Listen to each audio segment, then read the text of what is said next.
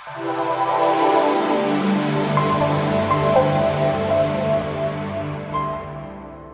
जी, यहाँ पे मैंने स्टार्ट यहाँ से लिया है कि कोई भी लैंग्वेज होगी ना, उसे प्रोसेस करने के दो लेवल्स होंगे।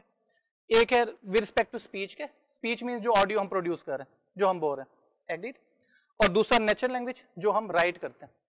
फेयर एनफ अच्छा अब यहाँ से नेक्स्ट स्लाइड में ना मैंने एक चीज़ ये बताई है कि कोई भी आपने जब कंप्यूटर साइंस में प्रॉब्लम सॉल्व करना होता है उसके दो गोल्स होते हैं।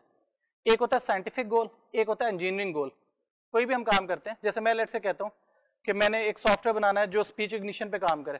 उसका साइंटिफिक गोल क्या होगा? जिसमें आप उसके थ्योरेटिकल कंसेप्ट के ऊपर फोकस करोगे। थ्योरेटिकल कंसेप्ट पे। इंजीनियरिंग गोल का क्या मतलब होता है? कि वहाँ पे आप इंप्लीमेंटेशन करते हैं, चीज़ बनाते हैं। कंप्यूटर साइंटिस्ट में कंप्यूटर इंजीनियर में लॉजिकली यही फ़र्क होता है कि जो साइंटिस्ट है वो थ्योरी पे काम कर रहा होता है और जो इंजीनियर है वो बनाने पे काम कर रहा होता है। फेयर एनफ यही चीज़ हमने यहाँ पे भी बताई हुई है कि जो हमारे पास NLP natural language processing it is a branch of artificial intelligence ठीक है? ये भी लास्ट टाइम किसी ने क्वेश्चन किया था कि एआई कहाँ पे लाया करता है, बाकी कहाँ पे करते हैं? तो एआई एक अपर फॉर्म है या अपर डोमेन है, जिसकी सब डोमेन है natural language processing computer vision audio processing and so on ठीक है जी? अच्छा in any case science goal क्या है? Understand the way language operates science goal क्या है? कि इसमें थ्योरेटिकल एस्पेक्ट्स हम देखेंगे कि जो हम लैंग्वेज बोलते हैं या लिखते हैं, वो कैसे ऑपरेट करती है, उसके बैकग्राउंड में क्या चीज़ें हो रही होती हैं। ठीक हो गया? और इंजीनियरिंग गोल हमारे पास क्या है? कि we want to build systems that analyse and generate language यानी कि हमने क्या करना है? हमने ऐसे कोड लिखने हैं, जिनकी मदद से हम जो चीज़ें बोली जा रही हैं या लिखी जा रही हैं, उनको अंडरस्टैंड कर सकें, पहले लेवल पे। सेकंड लेवल पे क्या है?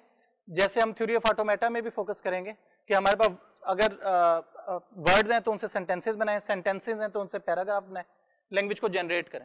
Agreed similarly reduce the man machine gap ये अल्टीमेट एम है एआई का भी आर्टिफिशियल इंटेलिजेंस का भी। अगर आपसे कोई पूछे यार कि आर्टिफिशियल इंटेलिजेंस का अल्टीमेट गोल क्या है? क्या आंसर है इसका? ये आपको याद है किसी ने बीएससी में डिस्कशन हुई भी हो? क्या, कैसे? वो क्या है? उसका एग्ज़ाम्पल क्या है? उसकी क्या एग्ज़ाम्पल पढ़ी हुई है आपने ना? ट्यूरिंग टेस्ट नाम किसी को याद है? ट्यूरिंग टेस्ट पता है ट्यूरिंग टेस्ट क्या होता है? बीएससी में जो फ्रेश थोड़ा सा जिसने पढ़ा ट्यूरिंग टेस्ट क्या होता है? एआई के अंदर यार दूसरे तीसरे लेक्चर पे पढ़ाते हैं। खान साहब ट्यूरिंग टेस्ट क्या होता है? सिंपल होता है। ट्यूरिंग टेस्ट ये है ट्यूरिंग ने कहा था, और आज तक ऐसी कोई मशीन अभी तक नहीं बनी। उन्होंने ये कहा था कि जी, आपके पास एक कंप्यूटर है, ठीक है, और एक बंदा है।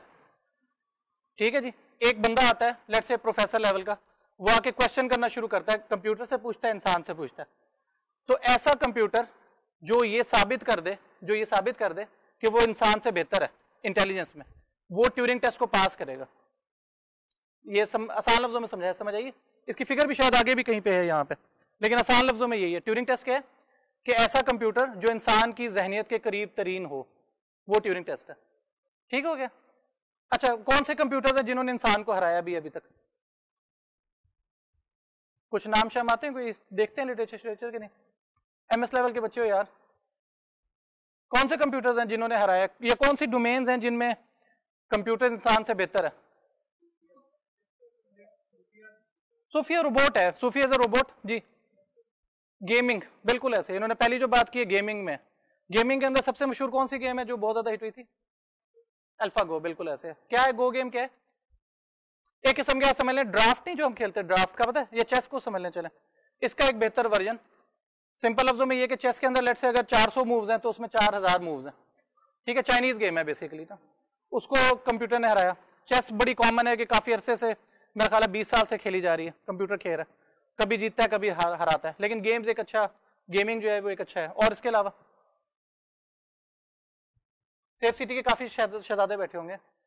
हर क्लास में होते हैं। और हमेशा कहा जाता है कि सेफ़ सिटी जो है, उन्होंने ऑटोमेट कर दिए अब अगर कैमरा सर्वेलेंस लगी हुई है और एक ह्यूमन सर्वेलेंस दे रहा है, कौन सा बेहतर होगा?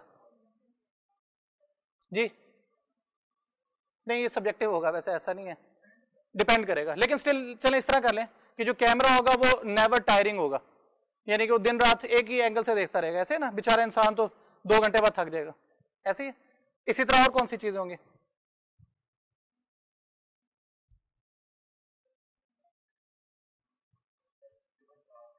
सेल्फ ड्रिवन कार्स आ रही हैं, बिल्कुल ऐसे ही। आजकल सबसे हॉट टॉपिक चल रहा है एग्रीड ऐसे ही। अच्छा एक कोविड के दिनों में एक बहुत हॉट टॉपिक चला है, जिसे कहते हैं चैट बॉट्स क्योंकि मैं उस तरफ़ जाना चाह रहा हूँ जो इससे लिंक हो चैट बॉट्स कितने लोगों को पता है चैट बॉट का, क्या होता है? किसी ने देखे चैट बॉट्स देखे? देखे? क्या होते हैं कि जी आप किसी वेबसाइट पे गए और वहाँ पे एक आपको ना ऑटोमेटिक बॉट होता है उसे चैट बॉट भी कह लें या बॉट होते हैं, वो आपको वेलकम करता है कि जी क्या क्वेश्चन है आपका ना? फिर आप अपने क्वेश्चन राइट करते हो? और दूसरी साइड पे इंसान नहीं बैठा होता ऑटोमेटिक कंप्यूटर कर रहा होता है। तो इस दफ़ा अगर किसी ने रिपोर्ट देखी हो, जो डिफरेंट रिपोर्ट्स आती हैं इंडस्ट्री के रेलिवेंट पिछले छः महीने की सबसे बड़ी प्रोडक्ट चैट बॉट रही है। चाहे वो इंग्लिश में है, उर्दू में तो बेचारे पता नहीं बनती है कि नहीं बनती, लेकिन चैट बॉट्स बहुत ज़्यादा रही हैं डिफरेंट लैंग्वेजेस में। ठीक हो गया। In any case in any case वापस हम आते हैं कि सारी एफर्ट जो हो रही है ना, वो इस पर हो रही है। एआई की सिंपल जो सबसे बड़ी एप्लीकेशन है, वो ये है कि मैन मशीन गैप को रिड्यूस किया जाए। ठीक है ना? पर अच्छी चीज़ पता है क्या है कि अभी तक हम रिड्यूस कर रहे हैं इंप्रूव नहीं कर रहे कि जी इंप्रूव मशीन ओवर मैन कहीं पे नहीं लिखा होगा। यानी कि एआई का अल्टीमेट एम ये नहीं है कि इंसानों से बेहतर हो जाए। अभी फ़िलहाल यही है कि जी गैप को कम किया जाए। ठीक है? अच्छा ये ट्यूरिंग टेस्ट की मैंने एक एग्जांपल या फिगर भी नेट से उठा के डाल दी थी छोटी सी। वो यही है कि आपके पास एक ये टेस्ट कंडक्टर है। ये मशीन है, ये ह्यूमन है और दरमियान में ना एक पर्दा है। यानी कि इसको नहीं पता कि ये ह्यूमन है या वो है, वो मुख्तलिफ़ क्वेश्चन करता है। ठीक है? वो मुख्तलिफ़ क्वेश्चन करता है। अब यहाँ पे भी एक क्वेश्चन बड़ा ज़रूरी होगा। वो क्या होगा? जो क्वेश्चन है वो किसी डोमेन में होने चाहिए। एग्रीड ऐसे ही ना, जैसे लेट से अगर मैं यहाँ पे थ्योरी ऑफ़ कंपटीशन पढ़ाने आया हूँ, और मैं भाई से क्वेश्चन करता हूँ डीप लर्निंग के। मैं कहता हूँ, जी, कि डिफरेंट आर्किटेक्चर्स क्या हैं? मशीन लर्निंग के अंदर स्पोर्ट वेक्टर मशीन क्या होती है? एंड सो ऑन तो वो हंस के ही रहेगा ना बेचारा। ऐसे जो मशीन रनिंग का कोर्स ले रहा होगा, वो थोड़ा बहुत एक्सपेक्ट कर लेगा कि यार ये चीज़ आएगी। एग्रीड ऐसे ही है ना? अच्छा अब इसीलिए इस पर अब आगे हम चलते हैं। लेकिन फ़िलहाल ट्यूरिंग टेस्ट सिंपल यही है कि can the test conductor find out which is the machine and which is the human ठीक हो गया। अच्छा ये एक मैंने यहाँ पे लिखा इंस्पायर्ड एलिजा ये नाम सुना हुआ है किसी ने?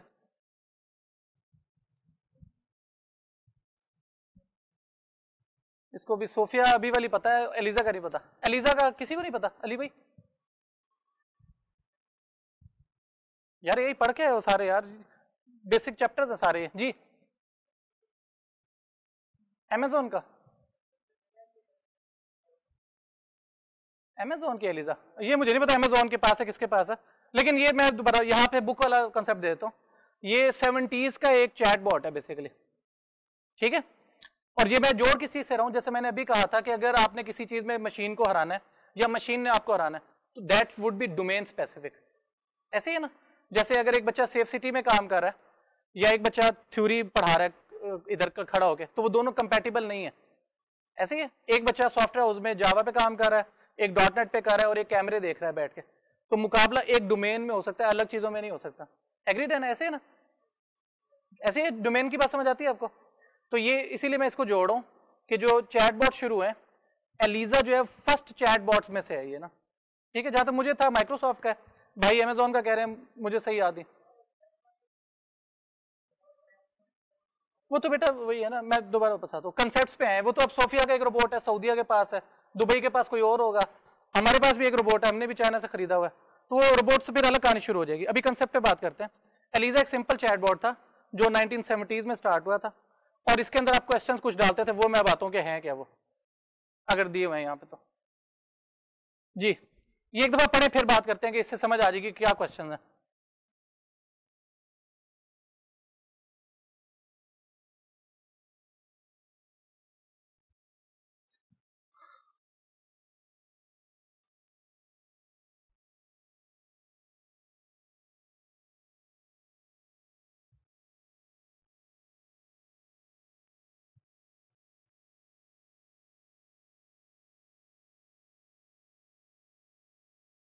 जी, क्या चीज़ समझ आती है? ये एलिजा क्या होंगे? ऊपर लिखा नहीं हुआ लिखा हुआ है यार। हाँ? साइकोथेरेपिस्ट क्लियर लिखा हुआ है। इसका मतलब ये है कि अगर आप इसे दवाई कहोगे, दवाई नहीं देगा ये। ऐसे है ना? ये फिजिक, जो साइको साइकोलॉजी के रेलिवेंट प्रॉब्लम्स हैं, उनकी डिस्कशन करेगा, सिर्फ़ दवाई नहीं देगा। ऐसे ही अच्छा इसी तरह ना एक चैट बॉक्स के अंदर एक काफ़ी हिट था, मेरे ख्याल में रेवर के नाम से। लेकिन देखा जा सकता है, या मैं ढूंढ के बता दूँगा। जिसमें ये था कि जब मार्स पे ये लोग गए थे यूएस वाले, और जब डाटा वो कलेक्ट करके लेके आए थे, उसके बारे में उन्होंने एक चैटबॉट बनाया था, ये भी अर्ली एटीज की बात है। तो वो वहाँ के बारे में बड़ा स्पेसिफिकली क्वेश्चन आंसर देता था मार्स के बारे में ना, जो मार्स से आ रहा है ना, जहाँ पे गए, उन्होंने डाटा शाटा कलेक्ट किया वट तो उसके बारे में एक स्पेसिफिक बनाया था। तो अगेन यहाँ पे बताने का मकसद सिर्फ़ ये है कि जो चैटबॉट्स होंगे, वो स्पेसिफिक होंगे। अभी आपने एलिजा मेरे लिहाज से देखा होना चाहिए था क्योंकि यही में पढ़ाया जाता है तो मैंने इसलिए उसकी एग्ज़ाम्पल दे दी फेयर एनफ ठीक है जी। अच्छा जी, ये वर्ड आप में से कुछ को फिर अगेन याद होगा, लेकिन अक्सरियत फिर ये कहेगी, नहीं याद। Ambiguity what is meaning of ambiguity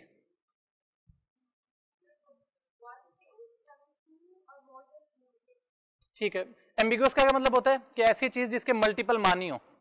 ठीक है ना? यानी कि मैं कोई वर्ड बोलूँ और आप ना उसके मानी समझ ना पाए। ठीक है? फॉर एग्ज़ाम्पल नहीं नहीं, वो तो एम्बिग्यूटी नहीं हुई ना यार, वो तो आपको समझ ही ना आई। नहीं, वो एम्बिग्यूटी नहीं होती एम्बिग्यूटी और चीज़ होती है। कोई एग्ज़ाम्पल दें?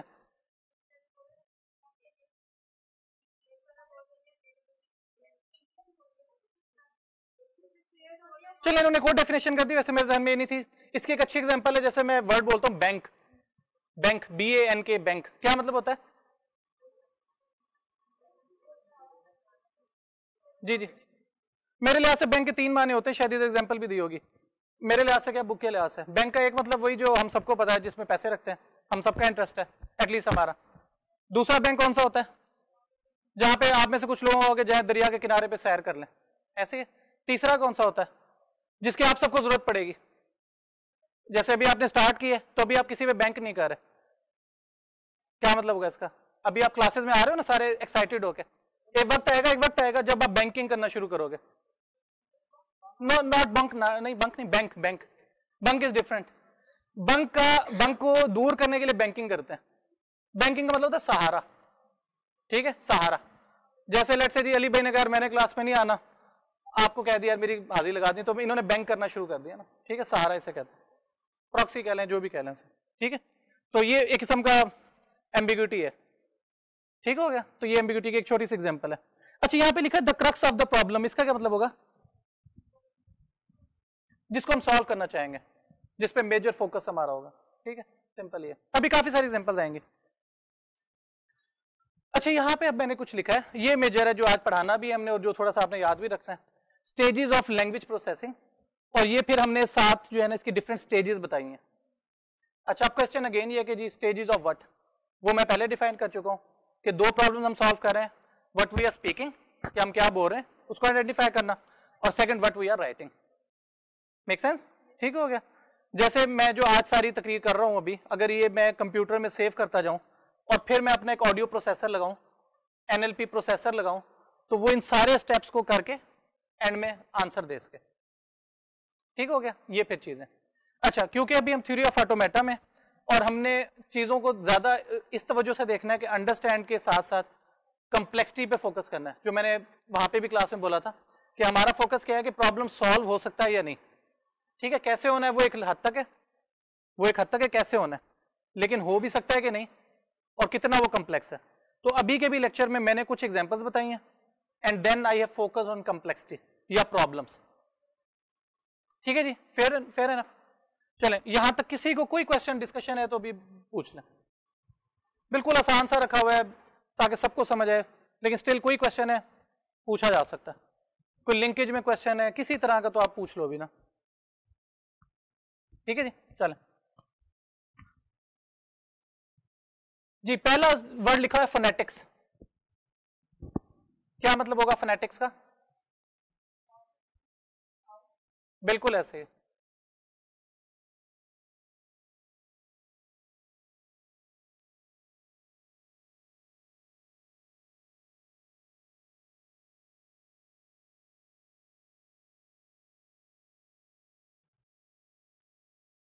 ये मैंने दो वर्ड लिखे हैं यहाँ पे ना।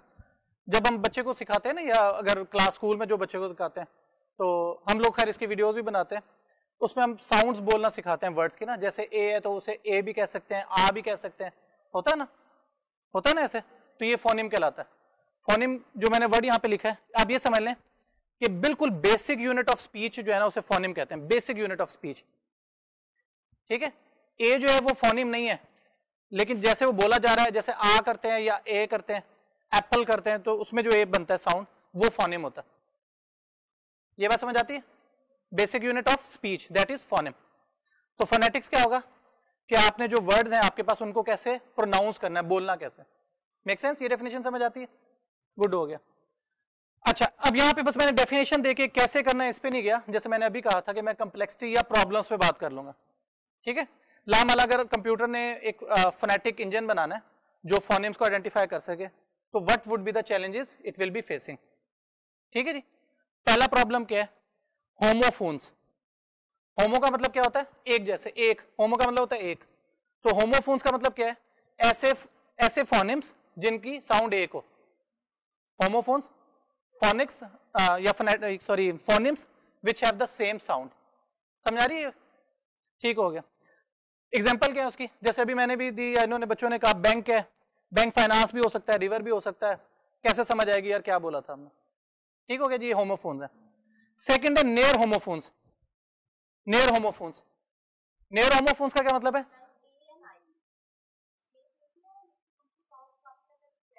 बिल्कुल। अच्छा इसमें थोड़ा सा यहाँ पे जो एग्जांपल हमने दी है, वो ये दी है कि जिनकी साउंड तकरीबन एक होगी स्पेलिंग्स के लिहाज से फ़र्क होगा। जैसे बियर और बेयर यहाँ पे जैसे हमने एग्जांपल दी है। बियर वर्सेस बेयर ठीक है? तो ये नेयर होमोफोन्स है। होमोफोन्स नहीं है। होमोफोन्स वो है जिनके स्पेलिंग भी एक है साउंड भी एक है। नेयर होमोफोन्स का करीब तरीन है। मेक सेंस अच्छा जी वर्ड बाउंड्री ये काफ़ी इंपॉर्टेंट है वर्ड बाउंड्री ये उर्दू की एग्ज़ाम्पल यहाँ पे दे दी। वर्ड बाउंड्री का मतलब क्या है कि कहाँ पे जो आप चीज़ बोल रहे हो, उसमें वर्ड कहाँ पे खत्म हो रहा है? कहाँ पे खत्म हो रहा है? जैसे, आज आएँगे। आ जाएँगे, यानी कि आ जाएँगे, या आ जाएँगे। ठीक है ना ये उर्दू में ये लिख दिया? आज ये पहले आ जाएँगे सॉरी वेलकम और आज आएँगे। वेलकम लेटर या जब भी होगा। समझ आ रही है? तो क्या है? Homophones near homophones world boundary ये बेसिक प्रॉब्लम है फोनेटिक्स के। फ्रेज बाउंड्री फ्रेज का क्या मतलब होता है? फ्रेज का क्या मतलब होता है? छोटा सेंटेंस बेसिकली ठीक है ना? सेंटेंस वो होता है जो ग्रामेटिकली हर तरह से करेक्ट हो। ग्रामेटिकली करेक्ट सेंटेंस को छोटे वर्ड्स में डिस्क्राइब करना फ्रेज होता है, ठीक है? सही है ना? जैसे लेट से मैं कहता हूँ get up get up is not a sentence ये सिंपल फ्रेज है, ठीक है? इस तरह मैं कहता हूँ जी एक्सप्लेन सिंपल कहता हूँ एक्सप्लेन ये भी फ्रेज है। क्विकली एक्सप्लेन ये भी फ्रेज है। ठीक हो गया? अगर इसका सेंटेंस बनाना हो तो मुझे क्या करना पड़ेगा? मुझे बोलना पड़ेगा पूरा सेंटेंस के I request you to get up and explain this concept ये सेंटेंस है। सिंपल क्या कह सकते हैं? नहीं यार गेट अप एक्सप्लेन ये फ्रेजेज होते हैं। ठीक है जी? इन यानी कि सेंटेंस है, ये फ्रेज उनकी बाउंड्री होगी। इसे पढ़ने जरा, इसमें क्या फ्रेज बाउंड्रीज बनेंगे?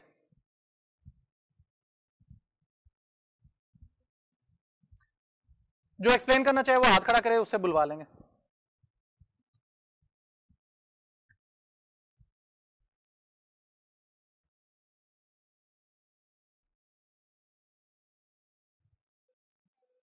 बाउंड्री बाउंड्री बतानी बेटा। देखो, जैसे मैं कहता हूँ a I students are specially exhorted ठीक है? अब क्या यहाँ पे बाउंड्री बन सकती है? बाउंड्री का मतलब है कि comma semicolon colon full stop क्या डाला जा सकता है? ठीक हो गया? अच्छा। Specially exhorted to attend as such seminar अब क्या एक्सॉर्टेड के बाद कॉमा लगना चाहिए? टू अटेंड के बाद लगना चाहिए। ये दो आ गई ना फ्रेज बाउंड्री के चांसेस ऐसे ही sir As such seminars are integral to one's post graduation graduate education. कहाँ कहाँ पे सेमिनार सेमीकोलन या बाउंड्री बन सकती है? कितने सेंटेंस तोड़े जा सकते हैं? कितने कितने फ्रेजेस में तोड़ा जा सकता है? जी। मीनिंग चेंज हो रहा है। बिल्कुल ऐसे। एग्रीड समझ आ गई? एक्सप्लेन करूँ बना के। और हज़ारों एग्जांपल हो सकती है। ऐसे है ना? लेकिन यहाँ पे ये बताइए कि भाई, एक एग्जांपल ये होगी कि आपने ज़रूर सेमिनार लेना है। ताकि आपको फ़ायदा हो। एक ये बता रहे, नहीं यार एग्जॉस्ट हो गए हम नहीं पढ़ना चाहते ना ठीक हो गया एंड सोन तो मुख्तलि माने।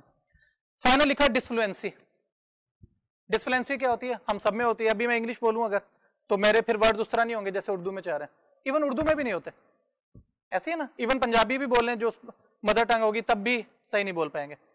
रुक रुक के होता है। ऐसे है ना? ये डिसफ्लुएंसी होती है। कि जब आप बोल रहे हो डिसफ्लुएंसी आती है। अच्छा अब मैं दोबारा जोड़ता हूँ इन चारों को।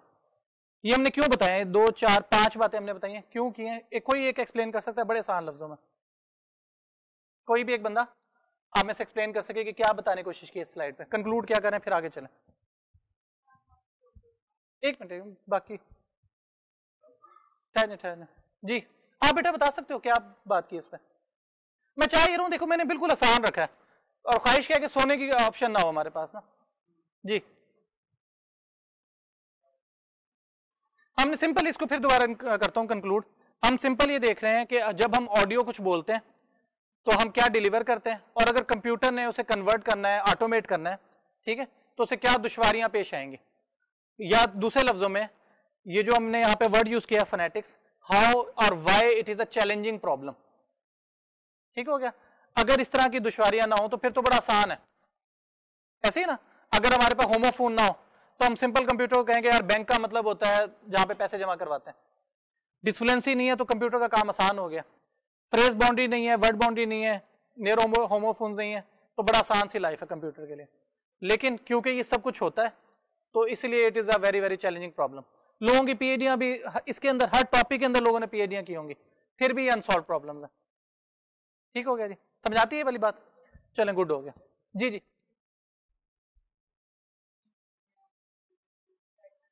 बिल्कुल हो सकता है, वो भी हो सकता है। वो भी अभी आ जाएँगे, कहाँ पे होते हैं? वैसे इसमें भी हो सकता है एग्रीड जी जी।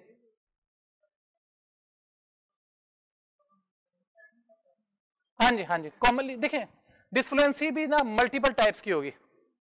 मल्टीपल टाइप होगी, जो गोरे की होगी, वो डिफरेंट होगी, आप लोगों की डिफरेंट होगी, कोई रुक के बोलता है, ऐसे ही है ना? तो डिस्फ्लुएंसी का कोई भी वर्ड हो सकता है। अच्छा अब दूसरी बात ये है, देखें, अब वापस आता हूँ, एक और आसान चीज़ यहाँ पे ना, भाई ने अच्छा क्वेश्चन किया। ज़रूरी नहीं है कि वो चीज़ें जो कंप्यूटर अंडरस्टैंड नहीं करता। ये कुछ एग्जाम्पल्स दी गई हैं जो आपको समझ आ सके ना। हो सकता है कंप्यूटर ये सारी बातें कर लेता हो। और अक्सर प्रोग्राम अब कर लेते हैं। हमारे पास कोई बच्चा अगर फाइनल ईयर प्रोजेक्ट का बीएससी का आता है, वो कहते हैं चैट बॉट तो हम ये सारी चीज़ें डाल के अभी भी देखते हैं उसकी ना। ये बात समझ आ रही है? लेकिन सिर्फ़ समझाना मकसद है कि ये मुश्किल काम है। और अगर लेट से जी होमोफोन्स बैंक और इस बैंक को उसने कवर कर भी लिया तो मे भी और होमोफोन आ जाए। आ सकते हैं ना? फॉर एग्ज़ाम्पल और कौन सा हो सकता? है फेयर हो सकता है, बिल्कुल ऐसे ही और कौन सा हो सकता है? ऐसे कई वर्ड होंगे जो दोनों चीज़ें होंगी ना। नाउन भी होंगे वर्ब भी होंगे, इसमें भी काफ़ी एग्ज़ाम्पल और भी आएँगे अभी। लेकिन स्टिल समझ आ रही है ना मेरी बात? कि ये कंटिन्यूस एफर्ट रहेगी। जी। नहीं नहीं स्लैंग इसमें नहीं आएँगे, मैं बताता हूँ अभी कहाँ आएँगे। ठीक है जी? क्लियर है वाली बात? अच्छा अगले पे चलते हैं फिर। और इनका क्वेश्चन क्या था चलो, ठीक है, उधर ही आ जाएगा। देख लेते हैं, फिर एंड में फिर क्वेश्चन कर लेंगे। अच्छा ये हमने बात जो पहली की थी, ये फोनेटिक्स की थी, जिसको फोनोलॉजी भी हम कहते हैं। यहाँ पे दूसरा वर्ड है मॉर्फोलॉजी फोनेटिक्स या फोनोलॉजी थी, वो सारी थी हमारे पास बोलने की जबान। और मॉर्फोलॉजी है, इसका जो कीवर्ड है, उसे कहते हैं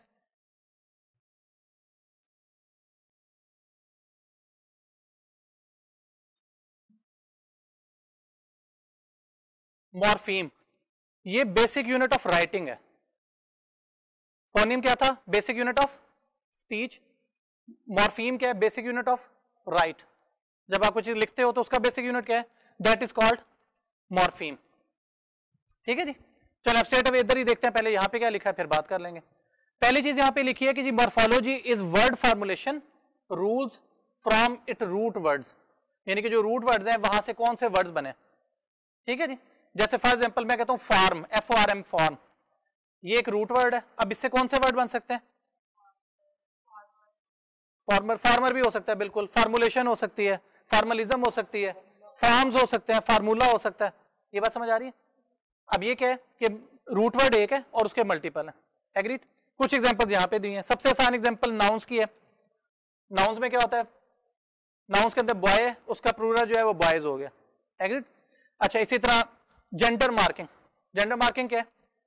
कि नसीम जो है वो मेल फीमेल का भी हो सकता है पहले। और अगर नसीम के साथ कुछ भी ऐड कर दें, जैसे नसीमा ऐड कर दें ए ऐड कर दें सॉरी तो that becomes a gender marker कि जी मेल और फीमेल में डिफरेंस है वो। होता है ना काफ़ी सारे होता है। और कौन से नाम है जो एक ही वर्ड से चेंज हो जाए? शाहिद, शाहिदा, बिल्कुल ऐसा ये तो काफ़ी हो जाएँगे, काफ़ी हो जाएँगे, ठीक। पाकिस्तान में तो बहुत हो जाएँगे, ठीक हो गया। अच्छा फिर वर्ब्स हैं हमारे पास। वर्ब्स में क्या होता है? आपने टेंसेस को समझना पड़ता है आपको। जैसे सिट सेट सिट ही होता है। इधर कौन से लिखे हैं? स्ट्रेच स्ट्रेच्ड हो गया। एंड सोन समझ सकते हो। गो एंड गॉन तो ये वर्ड्स है हमारे पास।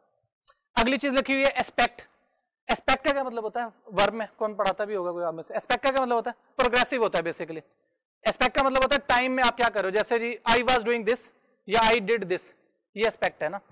टेम्पोरल इन्फॉर्मेशन या टाइम की इन्फॉर्मेशन लगाना वर्क के साथ। वो एस्पेक्ट होता है ना। इंग्लिश ग्रामर का ये सिंपल है ये। दोबारा रिपीट करो। एस्पेक्ट का मतलब होता है? टाइम इन्फॉर्मेशन लगाना कि I was delivering a lecture अभी जो मैं हूँ ना, अगर कोई जाके कहता हूँ, या दूसरा क्या कह सकता है? मैं कहता हूँ आई डिलीवर्ड अ लेक्चर ठीक है? अब दोनों एक ही चीज़ है वैसे लॉजिकली लेकिन मैं किसको कहूँगा? आई डिलीवर्ड अ लेक्चर और किसको कहूँगा? I was delivering a lecture अब अगर बीवी फ़ोन करे, बीवी फ़ोन अगर करती है तो मैं मोबाइल उठाऊँगा?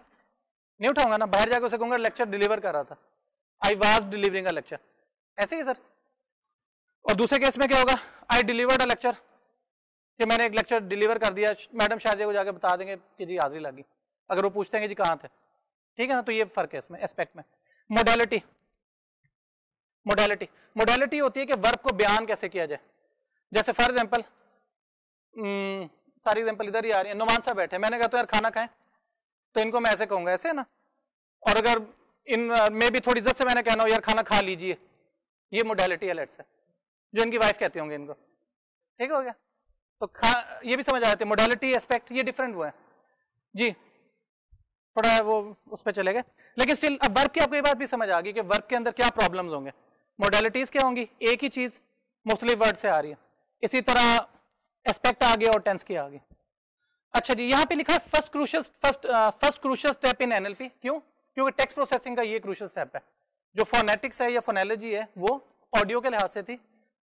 ऑडियो में आप कन्वर्ट कर चुके हैं तो एनएलपी के अंदर पहला स्टेप ये होता है मॉर्फोलॉजी ये खैर फिर नेट से उठाया कि language is poor in morphology मुझे भी नहीं पता क्यों है। लेकिन still languages with rich morphology have the advantage of easy processing इसका मतलब समझ आता ही है कि अगर मॉर्फोलॉजी की सपोर्ट होगी तो कंप्यूटर की लाइफ आसान होनी चाहिए। मेक सेंस ठीक हो गया। अच्छा जी, अब ये मॉर्फोलॉजी हम करते कैसे हैं? ये मैंने वैसे थ्योरी ऑफ़ कंप्यूटेशन से जोड़ने के लिए लिखा है यहाँ पे कि अगर आपने मॉर्फोलॉजी बनानी है तो आप फिनिट स्टेट मशीन्स को या हमारे पास वर्ड मॉर्फोलो या चलें फिनिट स्टेट मशीन्स को आप यूज़ कर सकते हो यहाँ पे। अब फिनिट स्टेट मशीन्स क्या थी? कुछ लास्ट टाइम भी मैंने बताया था कि वो सिंपल हमारे पास जो है ना मशीन्स बनी है जिनके अंदर स्टेट्स और नोड्स हैं। ठीक है? इसका मतलब क्या है? मैं इधर एक बनाने की कोशिश भी कर लेता हूँ।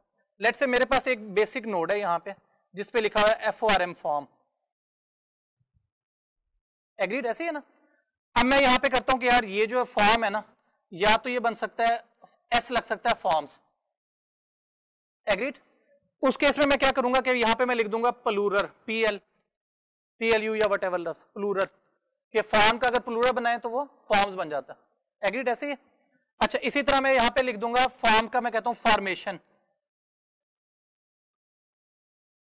फॉर्मेशन अब यहाँ पे मैं क्या लिखूँगा? मैं यहाँ पे लिख दूँगा एडजेक्टिव लेट से कि अगर फॉर्म का एडजेक्टिव बनाए तो वो फॉर्मेशन बन जाता है। ठीक हो गया? अच्छा इसी तरह अगर फॉर्म से बना सकते हैं, और भी बहुत वर्ड हो सकते हैं। मैं कहता हूँ इन फॉर्म ठीक है? इन फॉर्म इन फॉर्म का मैं क्या कह सकता हूँ? इसमें मैंने लगाया सॉरी प्रीफिक्स लगाया। प्रीफिक्स याद है ना, ये भी पढ़े हुए आपने? प्रीफिक्स इनफिक्स सब फिक्स जो होते थे पोस्ट फिक्स होते थे, वो चीज़ें ऐड करता जा रहा तो अब ये कैसे फिनिश मशीन के अंदर कैसे हो रहा है? क्योंकि finite machine is nothing but combination of states with nodes ठीक है? स्टेट्स क्या होती है? उनकी एंड रिज़ल्ट क्या है? जैसे फॉर्म फॉर्म बना या फॉर्मेशन बनी या फार्मूला बना। और कौन सा ऑपरेटर परफॉर्म किया? दैट इज़ अंडर नोड ठीक है जी? नहीं नहीं नहीं प्रोबेबिलिटी और चीज़ होती है। प्रोबेबिलिटी जो है ना अगेन सॉल्व करने का तरीका है। प्रोबेबिलिटी जो है ना वो सॉल्व करने का तरीका है। क्या इससे मुराद क्या है कि मैं यहाँ पे अगर वन ज़ीरो लगा रहा हूँ तो वो बाइनरी जा रहा है। हाँ, ये पॉसिबिलिटीज है सारी इस तरह पॉसिबिलिटीज कहना प्रोबेबिलिटी नहीं। ठीक है जी? कोई क्वेश्चन यहाँ पे? आसान ही है। अच्छा जी, ये थोड़ा इंटरेस्टिंग है। अब लेक्सिकल एनालिसिस अब मैं दोबारा रिपीट करता हूँ कहाँ पे खड़े हैं? कि हमारे पास कुछ रिटर्न टेक्स्ट आया है, हम उसे अंडरस्टैंड कर रहे हैं। और उसमें हम उसको मॉर्फोलॉजी मॉर्फोलॉजिकल एनालिसिस कर चुके हैं। ठीक है? अब हमने करना लेक्सिकल एनालिसिस ठीक है? इसका जो बेसिक यूनिट है, उसे कहते हैं। क्या कहते हैं?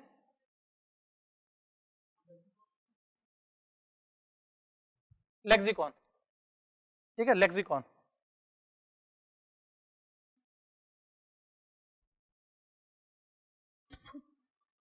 अच्छा ये जो है ना, ये है एक किस्म की मॉर्फीम या मॉर्फोलॉजी का एडवांस फॉर्म लेकिन इसके आप क्या कर रहे हो जो वर्ड है, उसके साथ आप उसकी डिक्शनरी अटैच कर। रहे हो वर्ड को डिक्शनरी में कन्वर्ट कर। रहे हो फॉर एग्ज़ाम्पल यहीं से एग्ज़ाम्पल उठा लेता हूँ। यहाँ पे एग्ज़ाम्पल दिए डॉग की। तो अब डॉग का डिक्शनरी क्या होगी? सबसे आसान डिक्शनरी की पहली डेफिनेशन ये होगी कि डॉग जो है वो नाउन है। एग्रीड ऐसे ही ना? तो क्या सिर्फ़ उसकी प्रॉपर्टी सिर्फ़ या डिक्शनरी वाइज डेफिनेशन नाउन है? नहीं। उसकी कुछ ये भी प्रॉपर्टीज़ है। जैसे डॉग जो है नाउन है। ठीक हो गया? वो क्या करता है? अगर उसे प्लूरल में कन्वर्ट करना है तो एस अटैच होता है। ठीक है? ये मैं अभी बताऊँगा, आगे भी क्या लिखा है। एनिमेट एनिमेट का क्या मतलब है? हिलता चलता है, ज़िंदा है। डेड नहीं है, यानी कि डॉग ये होता है ना जो मूव कर सकता है, चले।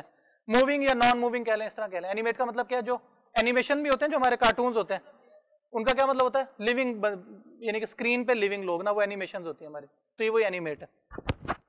चार टांगे ऐसे फोर लेग्ड और उसके बाद कार्निवोर है। गोश वोश खा जाता है। ऐसे होता है ना? तो लेक्सिकल क्या होगा? कि लेक्सिकॉन क्या बना? डॉग का।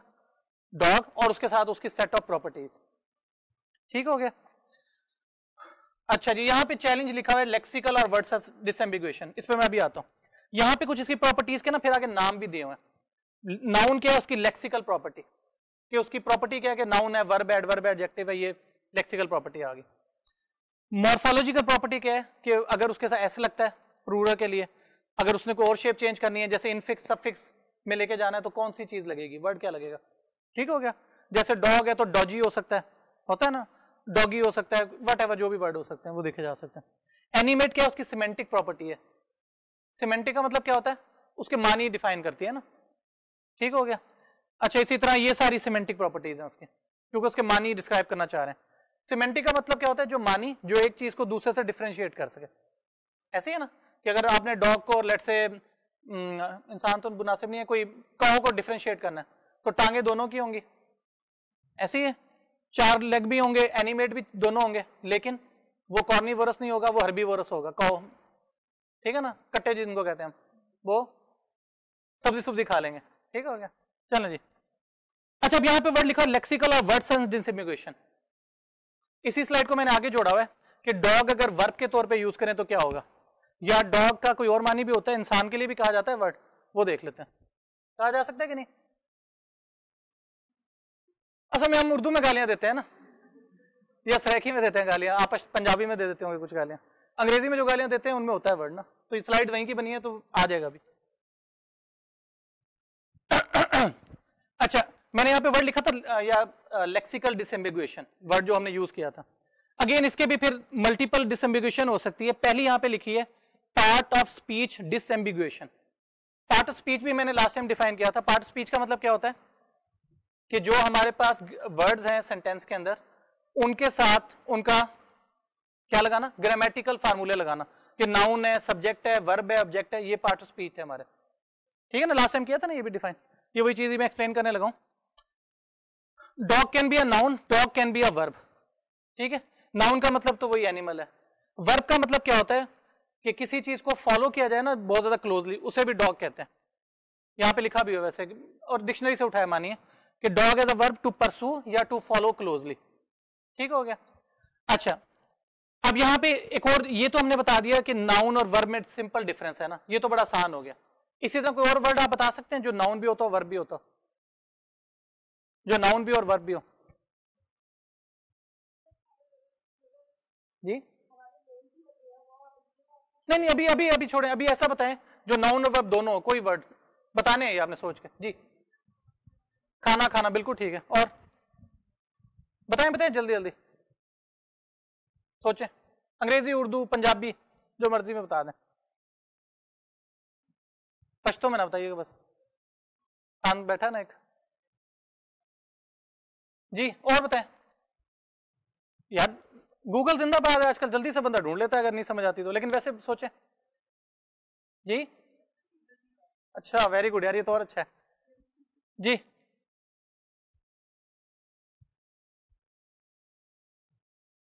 प्ले ऐसे ना प्ले क्या होता है? ड्रामे को भी कहते हैं प्ले और खेलने को भी कहते हैं। एग्रीड और बचे? गुड अल्फ़ा अल्फ़ा का क्या मतलब होते हैं? दो मतलब बताओ कोई से।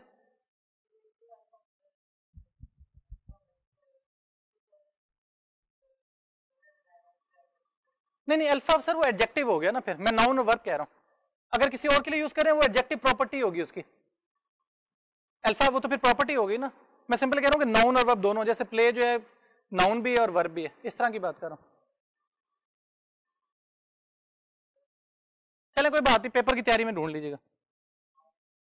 ठीक हो गया, ठीक है।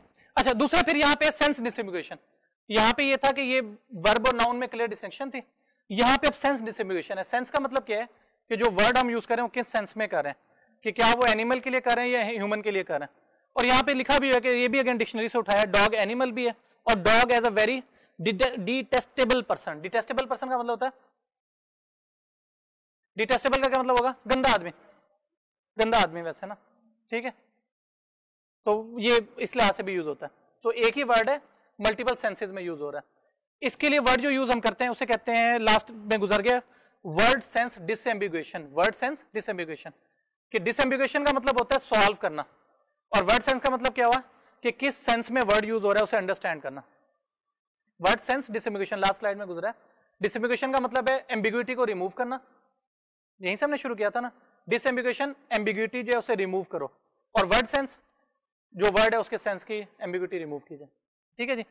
ये हमारे पास आ गया। और इसी तरह फिर ये रिसर्च और ग्रांट उसका दिया हुआ। जी। अच्छा अब ये कुछ इन्होंने स्लैंग्स की बात की थी। अब लेक्सिकल एनालिसिस के अंदर एक और प्रॉब्लम ये आता है कि रोज़ाना की बुनियाद पे नए वर्ड यूज़ होते हैं।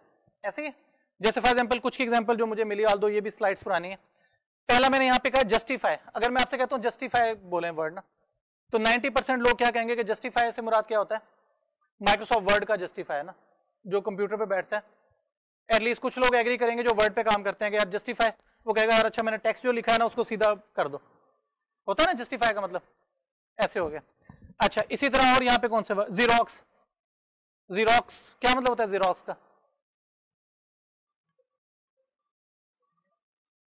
जीरोक्स का मतलब वैसे होता है एक जैसा होना, लेकिन ये वर्ड लिया कहाँ से गया था? आईबीएम की जीरोक्स प्रिंटर से ना? कि जब आईबीएम क्योंकि प्रिंटर आईबीएम के बहुत अच्छे हैं, ये एचपी के सॉरी एचपी के। उन लोगों ने जो प्रिंटर काफ़ी पहले जब मुतासर कराया तो उन्होंने कहा, यार, ये जो जीरोक्स कॉपी बनाता है, हालाँकि उसका मतलब जीरोक्स का मतलब ये नहीं था एग्जैक्ट कॉपी तो लोगों ने अब वर्ड यूज़ कर दिया कि यार जीरोक्स कॉपी है। अगर मैं कहूँ ये दो भाई बैठे एक दूसरे की जीरोक्स कॉपी है तो ये प्रिंटर वाली कॉपी नहीं, ये वर्ड यूज़ होना शुरू हो गया। एग्रीड ऐसे ही है ना? अच्छा इसी तरह डिजिटल ट्रेस ये आजकल बहुत वर्ड यूज़ हो रहा है। डिजिटल ट्रेस क्या होता है? ये नहीं सुना, मुश्किल लफ्ज है आप सब भी आजकल डिजिटली ट्रेस्ड हैं, सब, हम सब, क्यों? आईडी कार्ड में चिप, कौन सी यूज़ हो रही है यार? डिजिटल ट्रेस का मतलब ट्रेस का मतलब क्या होता है? आपको ट्रेस करना। डिजिटल ट्रेस का मतलब क्या है? डिजिटल तरीके से ट्रेस करना। आप अभी सारे आए हो तो आपकी सिम ऑन है। डिजिटली अगर आपको कोई पकड़ना चाहे, पकड़ सकता है ना? उसके अलावा क्या है? सोशल मीडिया सबसे बड़ा है। फेसबुक आप देख लो कि आपकी सारी इन्फॉर्मेशन है। ऐसी ही अभी आप में से कुछ लोग, अब तो नहीं, लेकिन मैं चले, कहीं मैंने जाना है। लेट से कोई मुझे दावत करता है, नवान साहब कहते हैं, आज आपको खाना खिलाते हैं। मुझे इनके घर का नहीं पता। तो मैं क्या करूँगा? गूगल मैप में एड्रेस डाल दूँगा। सारा उनके पास रिकॉर्ड होगा कि उस्मान साहब कहाँ फिरते रहे। तो ये डिजिटल ट्रेसिंग है। ऐसे ही अगला बड़ा इंटरेस्टिंग है हमारे लिए, जो आप में से कई लोग, मैं भी करता हूँ, बहुत करता हूँ अभी भी। पढ़े जरा क्या वर्ड है। करते हैं ना हम। ऐसे ही ना। कई मीटिंग में ऐसे होता है कि बंदा फंसा होता है, निकल नहीं सकता। तो खुद ही मैसेज कर देते हैं कि यार, जरा मैसेज करना, वो मैसेज करते हैं। हम कहते हैं, फ़ोन आ गया, चल भी काका निकल गया। इसके लिए कम्युनिफेकिंग का वर्ड यूज़ होता है। कम्युनिफेकिंग कम्युनिकेट करें, लेकिन फेक कम्युनिकेट तो ये वैसे ये मैं बताना क्या चाह रहा हूँ? कुछ मुझे मिले थे ताकि क्लास जरा एक्टिव रहे, लेकिन वैसे बहुत है ये ना। अच्छा ये भी बहुत ज़्यादा है। ये मेरे ख्याल में, ये साइकी मसला है, मुझे भी है वैसे ये। और आप में से भी अक्सरियत को मैं अभी भी बता रहा हूँ होगा। डिस्कॉम गूगलेशन डिस्कॉम गूगलेशन का मतलब क्या होता है? मोबाइल ना उठा सकना। होता है ना, आप में से देखें, हम सारे, वैसे तो कोई, हम कोई ऐसा काम नहीं कर रहे। ऐसे ना, शायद एक दो बंदे जो बेचारे यूटी की खिदमत करें उनको मैं जानता हूँ। जिन्होंने नेट शेट और ये चीज़ें करनी होंगी। बाकी हम कौन सा ऐसा काम करें लेकिन अभी मैं ना दस दफ़ा देखूँगा कि शायद मोबाइल बजे। ऐसे होता है ना? आप में से भी, कईयों को मैं जानता भी हूँ पर्सनली वो ये करेंगे अच्छा वैसे मोबाइल देख लेंगे। चाहे उस पर कुछ भी ना आया हो। लेकिन हमें आदत है। फ्रंट कैमरा ऑन कर लेते हैं। अब वो फिर आप आगे एडवांस हो गए ना, हमने तो जितना पढ़ा है तो हमें पता नहीं। लेकिन चलिए एग्रीड ऐसे है ना? तो ये नए वर्ड आते जाते हैं। हेलीकॉप्टर पेरेंटिंग ये लफ्ज नहीं सुने आपने। चले, कोई मसला नहीं। कोई ऐसे वर्ड सुने हुए जो इधर ऐड किए जा सके। Selfie selfie selfie selfie. Selfie, helicopter shot. बिल्कुल ऐसे एंड सो ठीक है ना? तो अगेन अब प्रॉब्लम क्या है? डिक्शनरी रोज की बेस पे चेंज हो रही है। यही मतलब है इसका। तो इस वजह से जो लेक्सिकल एनालिसिस है, वो अपडेट करना पड़ेगा। ठीक हो गया? जैसे अब हेलीकॉप्टर की अगर बात करें, और अगर बंदा क्रिकेट देखता होगा तो उसके जहन में पहले ना धुनी आएगा एज कंपेयर टू असल हेलीकॉप्टर के। ऐसे ही है? तो यही बस बताने का मतलब है।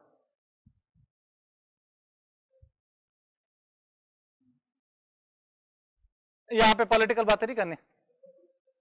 यहाँ पे यहाँ पे दोनों तरफ़ काफ़ी वो हो सकते हैं ना आ, लोग ना पॉलिटिकली वो हो सकते हैं। In any case in case. अच्छा अभी हमने कौन कौन सी स्टेजेस देख ली? मैं फिर रिपीट करता हूँ हमने आठ स्टेजेस बोली थी और उसमें से हमने तीन देख ली। अब आगे चौथे पे जो ऑटोमेटा के अंदर C F G context sensitive language Turing machine में कई, काफ़ी चीज़ों में यूज़ भी होता है, लेकिन यहाँ पे किस लैंग्वेज में आएगा? वो है सिंटेक्स ट्री सिंटेक्स का और सिमेंटिक का लास्ट टाइम भी हमने डिफाइन किए, कई दफ़ा आप सुन भी चुके होंगे।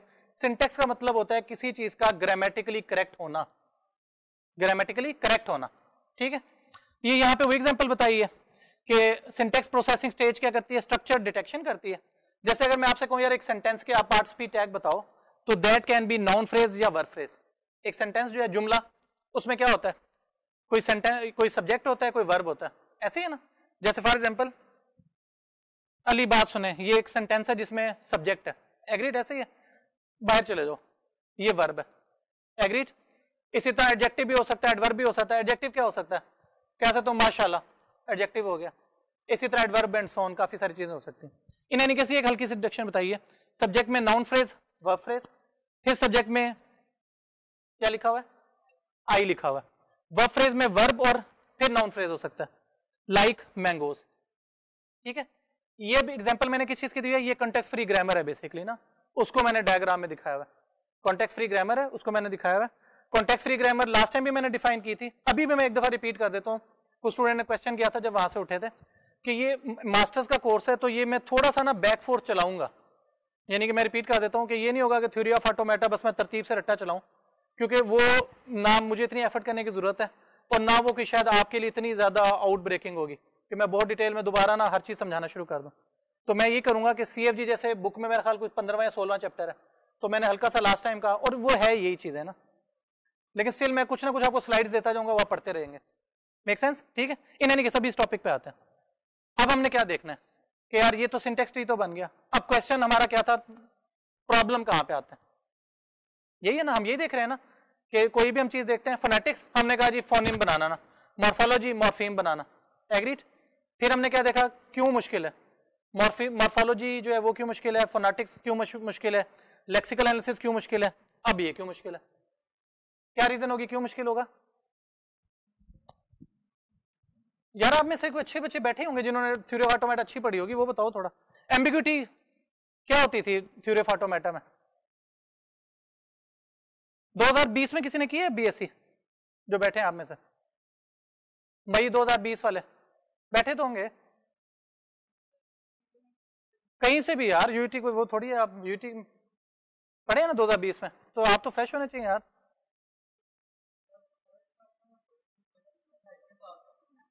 कंपाइलर पढ़ा होगा उसके बाद ना।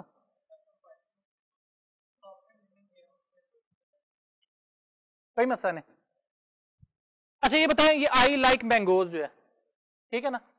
खैर, ये तो शायद नहीं है। अगर मैंने पास एक यही चले, यही लिखी हुई यही लिखी हुई ग्रामर ना कंटेक्ट फ्री भी छोड़ दें। एक सब्जेक्ट है।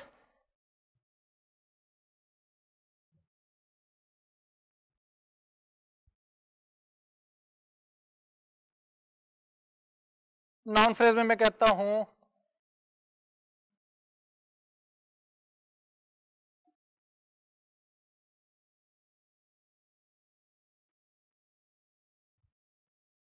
अच्छा एक ये ग्रामर लिखी हुई है इसको आप इस तरह लिख सकते हो खुद ही? देखें, दोबारा बताता हूँ एक ये ग्रामर लिखी है इसको कैसे लिखेंगे? सेंटेंस इज़ इक्वल टू ये सबको समझ आती है? कोई बंदा या बंदी जिसको ना समझ आती हो। सबको समझ आती है? एग्रीड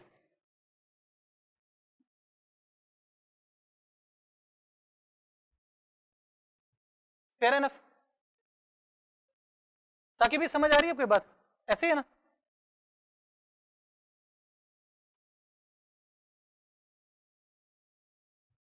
जी, आ रही है समझ?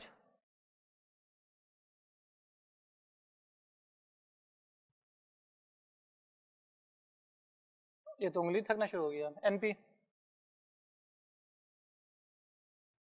ये मैंने ना क्या लिखा है? सीएफजी लिखी है context free grammar for this syntax tree ठीक है? कॉन्टेक्स्ट फ्री ग्रामर कुछ भी नहीं है, उसमें दो चीज़ें होती हैं टर्मिनल्स और नॉन टर्मिनल्स टर्मिनल्स का मतलब होता है जो चीज़ें खत्म हो जाए, आगे टूटी ना जा सके। ऐसे ही टर्मिनल्स का क्या मतलब होता है? जो खत्म हो जाए। नॉन टर्मिनल्स क्या होते हैं? जो आगे ब्रेक हो सकते हैं।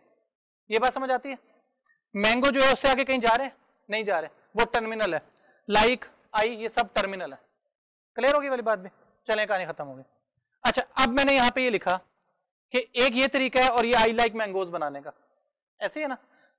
अब इस तरीके से भी आई लाइक मैंगोज बना सकते हो आप लोग, इस ग्रामर के थ्रू ये मैं कहता हूँ, ये है सी एफ़ जी वन या F grammar one G one और ये मैं कहता हूँ ग्रामर टू इन रूल्स के तहत ये बनाया जा सकता है लाइक मैंगोज अगर इसमें थोड़ा सा ये ऐड कर दें, ये वाली चीज़ ना लेट से वर्जन लाइक और एनपी जो है मैंगोज बनाया जा सकता है? बनाया जा सकता है ना? ठीक हो गया। अच्छा अब कंप्यूटर को क्या मसला आएगा? अब कंप्यूटर कंफ्यूज होगा कौन सी ग्रामर सही है। इसे कहते हैं एम्बिग्यूटी कि एक काम को करने के दो तरीके हो, इसे कहते हैं एम्बिग्यूटी एग्रीडे बात समझ आती? है तो सिंटेक्स के अंदर भी सबसे बड़ा मसला क्या आएगा? एम्बिग्यूटी तो इसका मतलब क्या है कि ये जो सिंटेक्स ट्री है, जो चाहे वो सीएफजी के थ्रू कर रहे हो सीएसवी के थ्रू कर रहे हो, किसी भी मशीन के थ्रू कर रहे हो इट कैन बी एम्बिग्यूस यहाँ तक क्लियर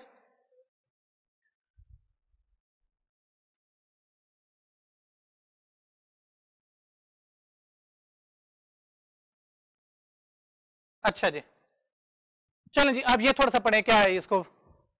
खुद ही समझ आ जाएगा अभी, जो मैं कह रहा था।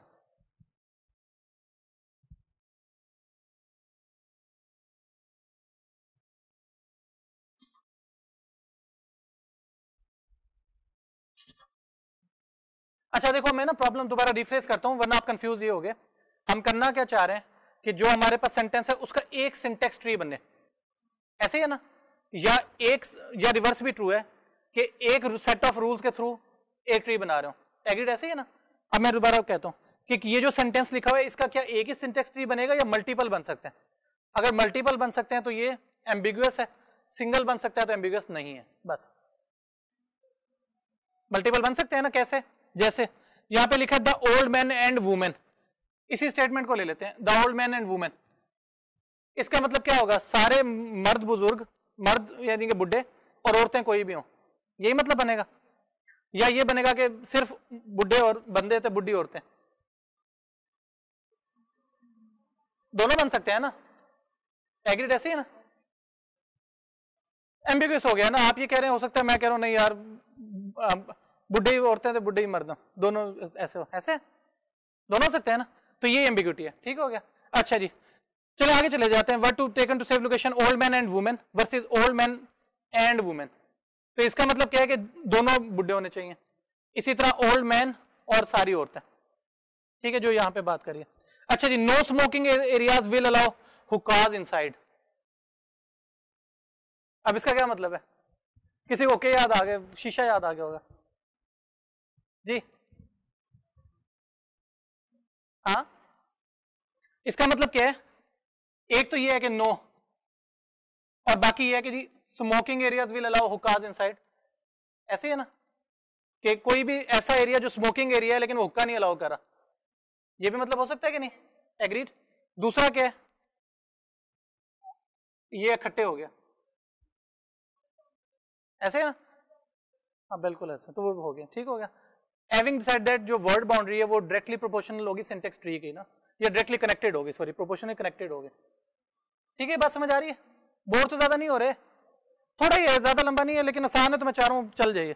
इन एनी केस अच्छा इसी तरह preposition phrase attachment preposition phrase attachment ये पढ़े जरा। I saw the boy with the telescope preposition क्या होती है? पहली चीज़। फिर मैं एक्सप्लेन कर देता हूँ।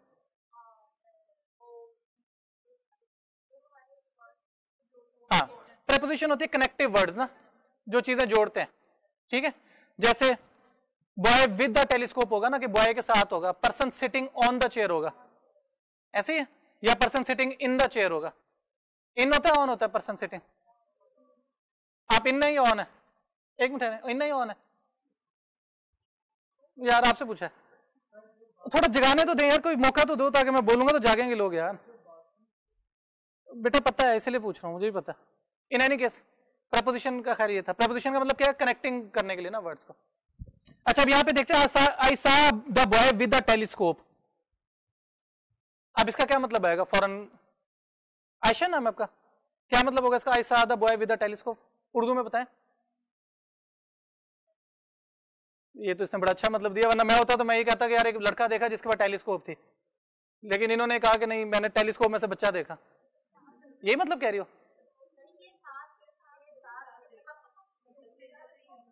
वही मैं कह रहा हूँ ना, मेरे लिहाज से ये होना चाहिए ना मतलब। लेकिन कुछ ये भी कह सकते हैं, मैंने टेलीस्कोप में से बच्चा देखा ना। हो सकता है ना, क्यों नहीं हो सकता? हँसते क्यों है? हम यहाँ से, अभी हमारा ट्रिप गया है बच्चों का, वो गए, टेलीस्कोप लगाई है, जो गुजर गुजर रहा है, उसको टेलीस्कोप से देख रहे हैं। तो वो तो यही होगा ना, आई सा बॉय विद टेलीस्कोप एग्रीड अच्छा जी, I saw the I saw the mountain with telescope आप बताएँ। अब बच्चा देख सकते हैं, पहाड़ को देख सकते हैं विद टेलीस्कोप अब तो ये ना कि विद द इसका मतलब टेलीस्कोप के अंदर से देखना है ना। ऐसे ही। अच्छा जी, आ side I saw the boy with the ponytail हाँ एग्ज़ाम्पल बुक से उठाई है यार, मैंने कौन से अपनी बनाई है? लेकिन इन any case I saw the boy with the ponytail अब। अब पोनी टेल पकड़ी तो नहीं होगी ना? पकड़ी नहीं होगी ना? एग्रीड ऐसे? समझाने का, समझ रही बात क्या करें? कि देखिए, I I saw the boy syntax tree पे अबाव वो तीनों एक ही है। यहाँ पे ट्री बना हुआ ना syntax tree I, saw, the boy एक ही है तीनों का। आगे कहानी चेंज है। विद पोनीटेल का मतलब क्या है कि ऐसी प्रॉपर्टी जो ऊपर अटैच है। विद टेलीस्कोप का मतलब क्या है कि उसने उठाई हुई है। और विद सॉरी माउंटेन जिसके अंदर से देख रहे हैं। तो ये सिंटेक्स के प्रॉब्लम है ना सारे, कि ग्रामर रूल कैसे चल रहे होंगे। इन सब की जो ग्रामर बैक एंड पे बनेगी वो डिफरेंट होगी। ठीक है जी? और भी काफ़ी एग्जांपल्स हो सकते हैं, थोड़ा सा तेज़ी चलें। इनमें कौन सा काम का चलो इसको, ये वो एग्ज़ाम्पल हैं या पढ़िएगा, मैं इसमें काम की चीज़ पे आता हूँ। इसमें एक फिगर मैंने कहा डाली थी, कहाँ डाली थी?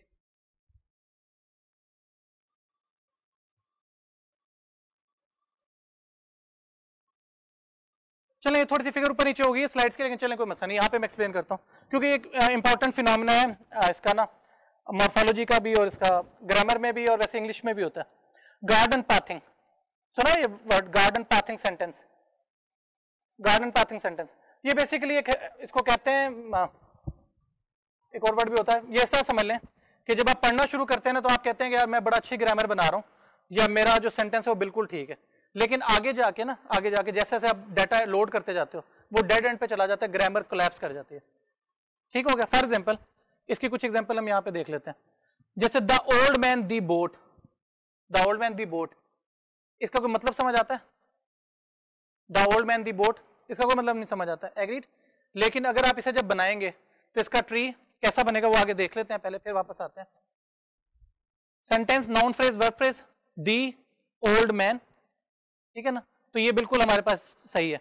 इसी तरह अगर इसकी ग्रामेटिकली देखें तो सब्जेक्ट का नाउन फ्रेज और वर्ब फ्रेज और ये यहाँ पे आगे टूट रहा है। एग्रीड राइट साइड वाला देखते हैं, वो ज़्यादा अच्छा है।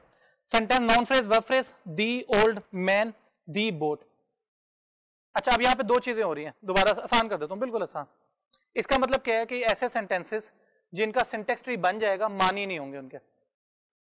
और अब अब आपको बड़ा आसान लगेगा। बहुत वर्ड होते हैं। ऐसे है ना?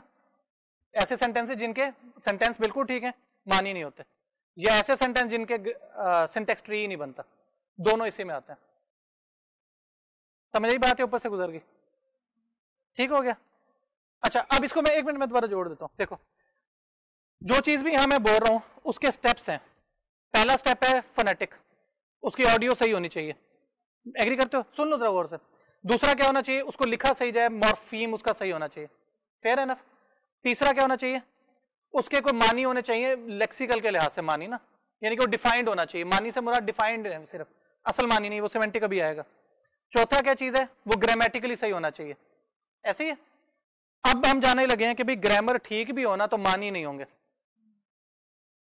होता है ना, बात क्या होता है कि ग्रामर ठीक है लेकिन उसके मानी नहीं है। ऐसी है जैसे मैं क्या कहता हूँ, यहाँ पे मैंने वैसे बताया और कौन से हो सकते हैं जिनके सेंटेंस बिल्कुल ठीक है, मानी कोई नहीं है। जैसे आपने प्रोग्रामिंग में पढ़ा है, two divided by zero. Two divided by zero, ये क्या है? सिंटेक्स वाइज ठीक है ना ये?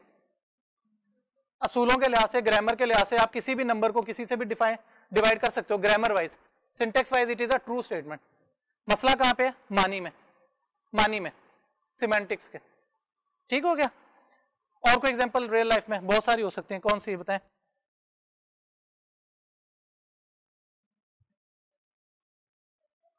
कोई सेंटेंस बताएँ जो ग्रामर में ठीक हो, मानी ना हो।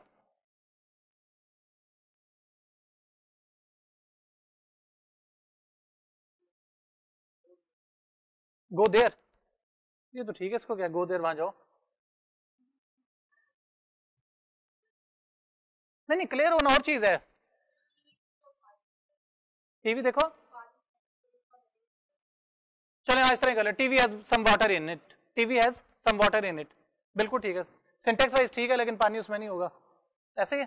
और और कोई एग्जांपल है? दो तीन तो दे दो यार। जागो।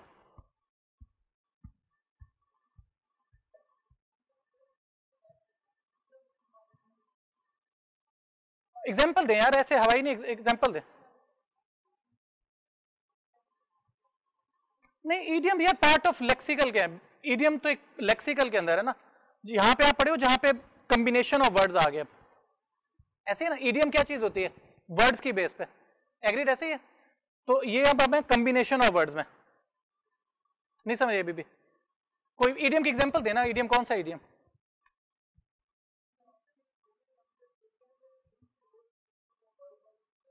नहीं नहीं नहीं। अच्छा उस तरह आप कह रहे हैं। जैसे आप कहते हैं जी कि जैसा देश, वैसा भेज ऐसे ये वो है कि जिसके ग्रामर भी ठीक है, मानी भी है। एग्रीड हम ये बात कर रहे हैं कि जिसके मानी हो ही ना। जैसे सॉरी लेकिन मेरे जहन में अजीब से आ रही लेकिन मैं बोल देता हूँ। Girl with the bear bearded girl with the bearded ठीक है? सेंस नहीं बनती। ऐसी है मैन विद द वेल ठीक हो गया? सेंस बनती है? सेंटेंस तो है, लेकिन होता नहीं है ना ऐसा। चोर। चले जो भी है। हाँ हाँ तो ऐसे ही है ना तो यही प्रॉब्लम है ना भाई। ठीक है, आज संडे है तो क्या ये? ठीक है, बस सही है तो फिर यही है, इसका एग्ज़ाम्पल यही है। लेकिन लेकिन स्टिल मैं दोबारा रिपीट करता हूँ कि ऐसे वर्ड होने चाहिए जिनका सिमेंटिक मानी ना हो। सिंटेक्स ठीक हो सिमेंटिक मानी ना हो ना। आज संडे जो है, वो चेक करना पड़ेगा ना कंपेयर करना पड़ेगा। ठीक है? इसी तरह की एग्ज़ाम्पल आप सोच सकते हो, खुद सोच लीजिएगा फिर। लेकिन मैं दोनों एग्ज़ाम्पल दे दी आपको। बाकी फिर मैं भी पेपर बनाऊँगा, मैं भी सोचूँगा, आप भी तो सोचिएगा। फ़ूड ऑफ़ थॉट है आपके लिए भी। ठीक है?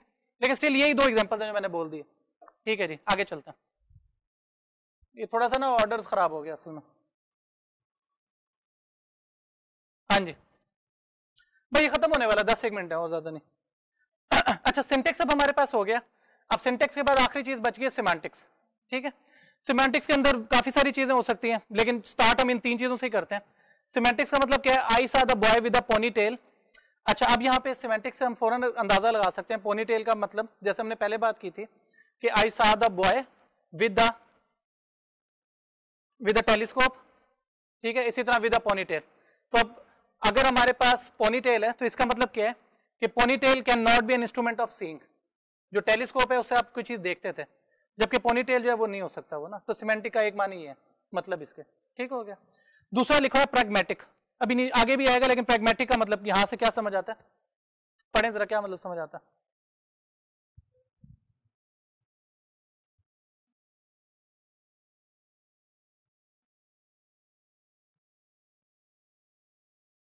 प्रैग्मेटिक का वैसे मतलब होता है यूज़र इंटेंशन कि कोई चीज़ कही जाए ना तो यूज़र इंटेंशन क्या होगी? User intention. कोई भी आप टेक्स्ट बोलते हो या लिखते हो तो उसमें इंटेंशन क्या है? अमूमी तौर पे जैसे लेट से आप में से कोई शोर मचाई जा रहा है, ठीक है ना? लेट से तो मैं उसे क्या कहूँगा? मैं कहूँगा, यार, उठना भाई आप जरा। इसका मतलब समझ आ जाएगा, भाई क्लास से निकल जा, चुप करके। ऐसे होता है ना यूज़ इंटेंशन यही होती है ना? ठीक है? या मैं कहता हूँ, यार, अपना रोल नंबर बताओ। तीन बच्चे या बच्चियाँ बैठी हैं बातें कर रही हैं तो मैं कहता हूँ रोल नंबर बताएँ। बताएँगी? वो फ़ौरन कहेंगे तो फेल कर देगा। ऐसे? तो ये होती है प्रैग्मेटिक कि जो टेक्स्ट है, उसमें यूज़र इंटेंशन क्या है। क्लियर होगी वाली बात भी? अभी एग्जांपल्स भी आ जाते हैं डिस्कोर्स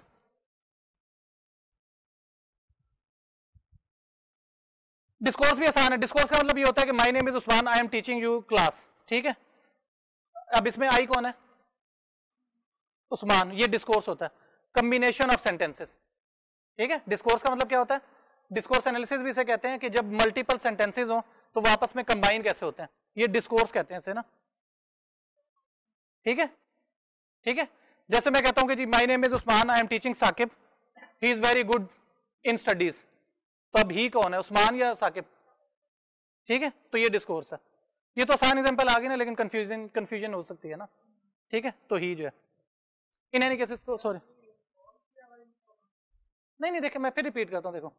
सॉल्व वाला चीज़ अगर मैं पढ़ाता हूँ, वो होती है कंप्यूटेशन लिंग्विस्टिक्स अभी हम इसे जोड़ रहे हैं एनएलपी के साथ और प्लस थ्योरी ऑफ़ कंप्यूटेशन में, जिसमें हम कम्प्लेक्सिटी डिफाइन करें मैं कुछ को सॉल्व करवाऊँगा इनमें से ना।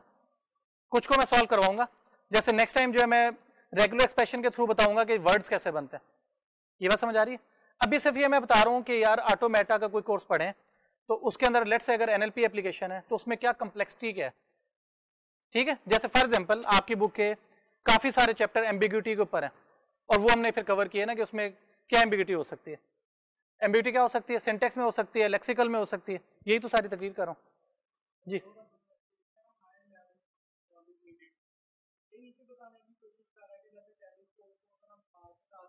ये ये बता रहे हैं, ये बता रहे हैं। देखें मैंने ये तो बोला था कि जब आप किसी चीज़ को सॉल्व करते हो तो कुछ ऐसी चीज़ें हैं जो ग्रामर वगैरह सॉल्व करवा देते हैं, जो थ्योरी ऑफ़ ऑटोमेटा भी है। लेकिन थ्योरी ऑफ़ ऑटोमेटा की जो बाउंड्री थी ना, वो खत्म हो जाती है सिंटेक्स के ऊपर जाके। वो आउटसाइड जाती नहीं है। आउटसाइड जाने के लिए आपको हाई लेवल नॉलेज चाहिए और हाई लेवल नॉलेज को डिफाइन करना है ना, वो तीन डेफिनेशन है सिमेंटिक प्रेगमेटिक्स और डिस्कोर्स ये पता चलेगा तो नेचुरल लैंग्वेज के प्रॉब्लम सॉल्व होंगे। ठीक है, ये बात कई दफ़ा बोल चुका हूँ। मेरा ख्याल है नाइन्टी परसेंट को पता होनी चाहिए जो बोल रहा हूँ।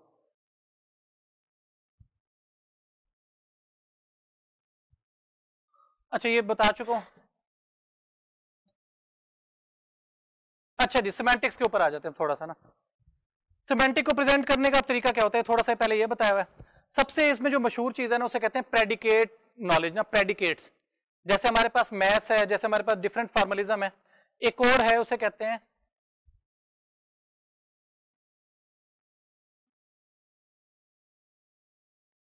प्रेडिकेट नॉलेज कह लें या एनालिसिस कह लें। प्रेडिकेट्स एआई में ये भी पढ़े होंगे आपने। प्रेडिकेट्स क्या होते हैं हमारे पास, पता है? बिल्कुल ऐसे है कि कोई स्टेटमेंट ट्रू या फॉल्स हो सकती है। ऐसे है ना? जैसे फॉर एग्ज़ाम्पल भाई का नाम क्या है? हसन? Hmm.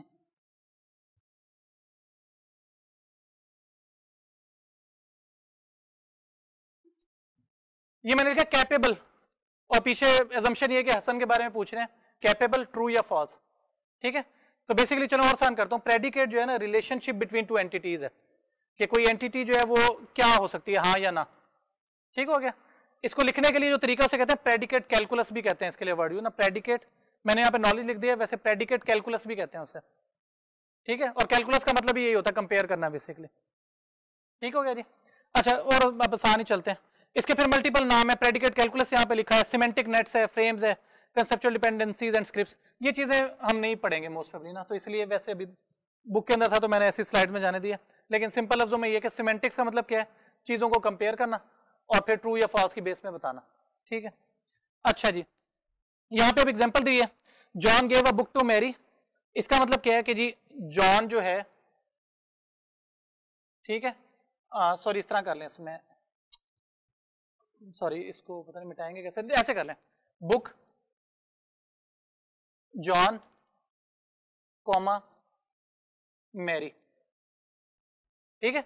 दो एंटिटीज हैं जॉन और मैरी रिलेशनशिप क्या है? बुक का। ठीक है? उस्मान और लेट से भाई हैं। आपका नाम क्या है? एसन उस्मान और एसन है रिलेशनशिप क्या है? स्टूडेंट टीचर या आ, मैं अगर हूँ तो टीचर भाई की तरफ़ से है तो स्टूडेंट पहला अगर ये लिखेंगे इनका तो स्टूडेंट होंगे। मेरा पहला लिखेंगे तो टीचर होगा। समझ आ रही है? ये प्रेडिकेट लॉजिक होती है। प्रेडिकेट कैलकुलस भी कहते हैं एआई में काफ़ी इस पे पढ़ाया जाता है। In any case again challenge क्या आएगा? Ambiguity in semantic role labelling जैसे मैंने कहा उस्मान और एहसन अगर पहले एहसन लिखा हुआ है तो रिलेशनशिप शुड बी स्टूडेंट पहले उस्मान लिखा है तो रिलेशनशिप भी रिलेशनशिप शुड बी टीचर ठीक है? तो ये सिमेंटिक लेबलिंग है। अभी रफ से ही बताते हैं, आगे चलते हैं। इसको बस ठीक है, इसको कंक्लूड कर लेते हैं। प्रैग्मेटिक्स का। ये पढ़े इसकी बड़ी अच्छी एक एग्ज़ाम्पल है ना प्रेगमेटिक्स को समझाने के लिए वैसे।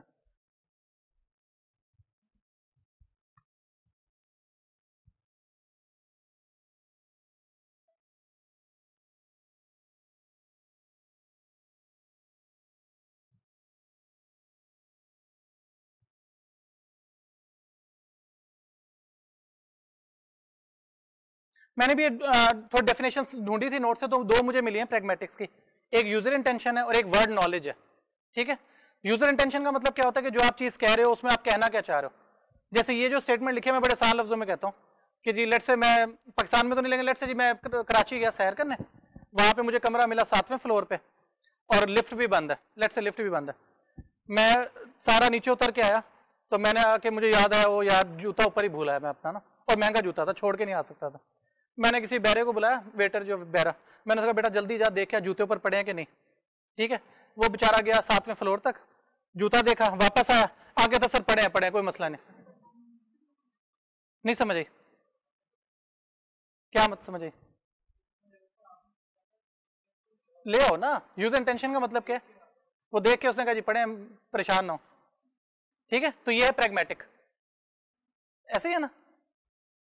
जैसे अब आपकी अगर बात करें, मैं जो मर्ज़ी तकरीर करता रहूँ।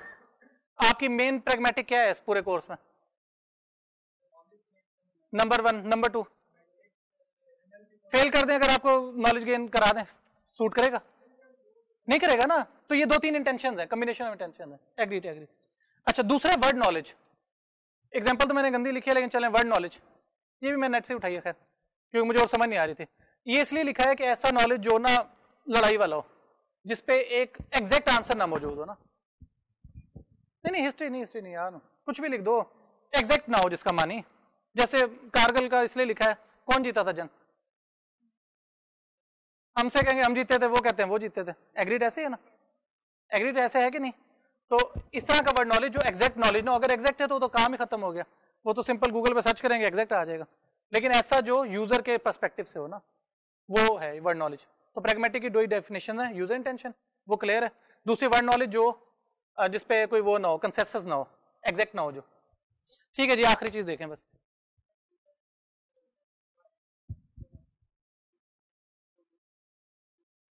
तो इसलिए वो लाई नहीं डालता वी प्रेगमेटिक है ना।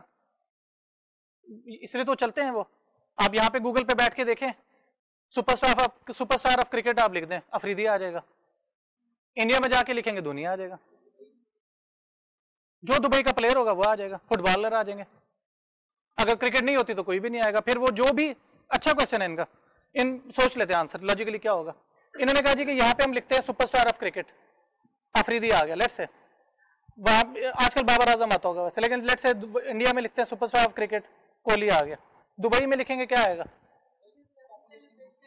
जिसका सर्च क्यूरी ज़्यादा आ रही है ना, अगर इंडियन ज़्यादा कर रहे हैं तो वो धोनी का बता देंगे या जो भी था।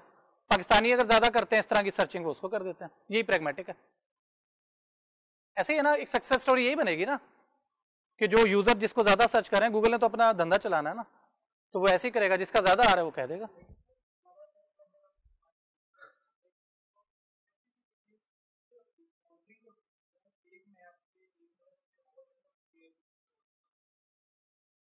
अब इसको पता नहीं एनएलपी में कैसे एक्सप्लेन करेंगे, ये बात ढूंढ लीजिएगा।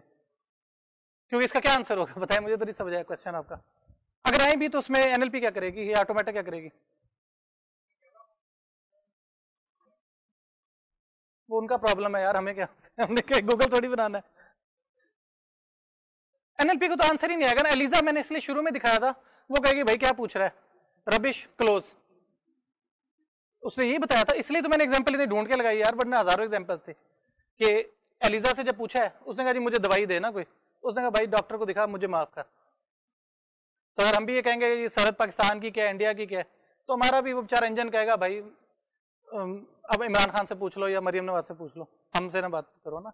ऐसे ही है ना? यार वो हमारा फ़ील्ड नहीं है ना। भाई मैं गूगल थोड़ी पढ़ा रहा हूँ बनाना। नहीं समझ आई? लेकिन इन एनी आप कहना चाहते हैं तो हम, हम मुझे पता है कैसे करता है लेकिन स्टिल वो हमारा रेलिवेंट नहीं है। ठीक है? इन एनी केस डिस्कोर्स का मैं पहले बता चुका हूँ, इसको पढ़ो जरा एक दफ़ा, बस कंक्लूड है ये। फिर मैं आपको जल्दी से दूसरी स्लाइड दिखाता हूँ ना।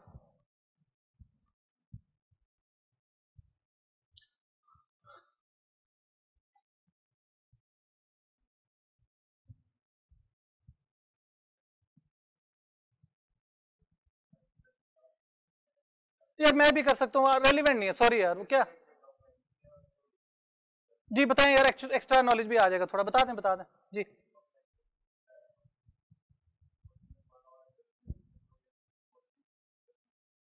ठीक है बेटा सोशल डायलेमा आपने देखना यूट्यूब पे सर्च करना तो वो आपको बता देगा। ठीक है, चलें जी। करने को यार आंसर ना काफ़ी हो सकते हैं, लेकिन टू द फ़ील्ड में रहना चाह रहा हूँ ना, वरना इन्फिनिट हो जाएगा वो तो। और फिर आप ये कहेंगे कि जी ऑटोमेटा में पता नहीं क्या क्या पढ़ा गए सर ना। तो हम तो उसी के लिहाज से कहानी लगा देंगे, कोई डाटा माइनिंग के लिए आएँगे, कुछ ना कुछ घुसा देंगे। इन एनी इस पे आ जाए आप?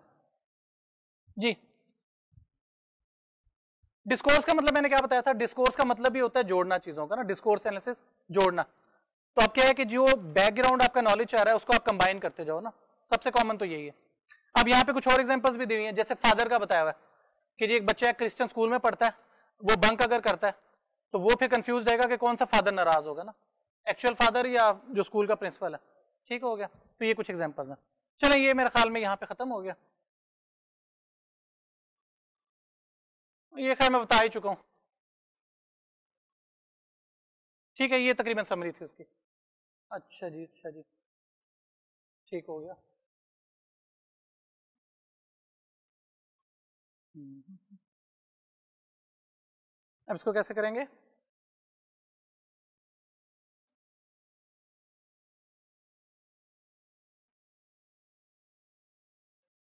नहीं सॉरी सॉरी सॉरी एक मिनट।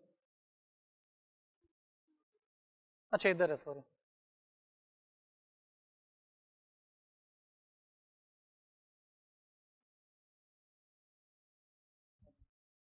एक मिनट, दूसरा भी चला लेते हैं। वो लेक्चर वन टू ये वाला खोलो जरा। ये बस मैं दो से तीन मिनट में जल्दी से बस वो करवा रहा हूँ। नो इसको कहाँ से करेंगे? अच्छा सॉरी पीडीएफ है ये? पीपीटी है ये नहीं होता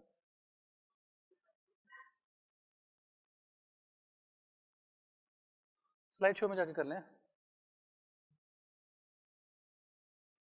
From beginning thank you sir अच्छा बस मैं जल्दी से बस क्विकली चला रहा हूँ, क्योंकि मैं बोल चुका हूँ, दो लेक्चर्स भी हो चुके हैं। जल्दी से बस इसको देखते जाते हैं। ये टेक्स्ट बुक में बता चुका हूँ डेनियल कोहन की और ये वाली है। मेरे पास ये पड़ा हुआ सेकंड एडिशन है मेरे ख्याल में, ना ये उन्नीस सौ नब्बे की पुरानी पड़ी है। तो जो भी मार्केट में पड़ा होगा। ऑनलाइन भी मौजूद है स्लाइड्स भी मैं भी आपको देना भी शुरू कर रहा हूँ। थ्योरी का मैं बता चुका था कि थ्योरी का क्या मतलब होता है प्रोग्रामिंग का क्या होता है, क्या डिफरेंस होता है।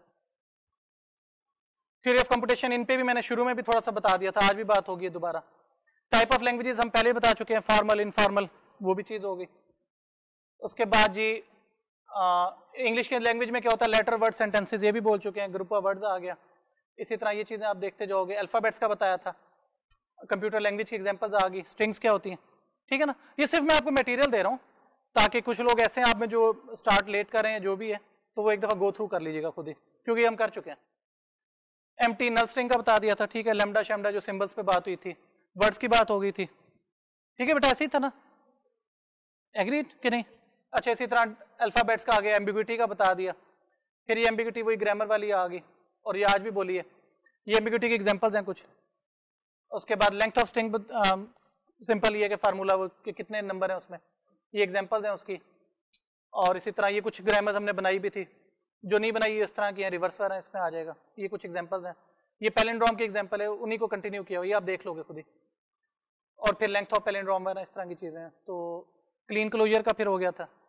लेक्सिकोग्राफिक आर्डर ये भी बता दिया था। याद है ये? बताया था कि नहीं? कितने कहते नहीं बताया?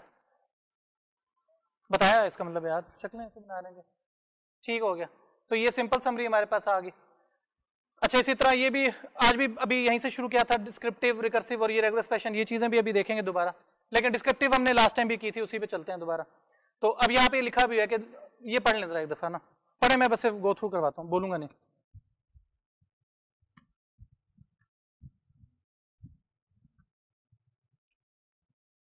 ठीक है जी ऑट का बता दिया, ठीक है? इसी तरह, ये कौन सा है? ये भी पढ़ लो जल्दी से। डिफाइन कौन सी है ये? लेंथ टू है। तो ज़ीरो वन के लिहाज से पहले ज़ीरो ज़ीरो फिर zero one and so on तो ये फिर कुछ एग्जांपल्स हैं इक्वल इंटीजर इवन ठीक है? ये आप अपनी तौर पे बस प्रैक्टिस कर लीजिएगा। तो ये दो तीन चैप्टर यही थे शुरू के। ठीक?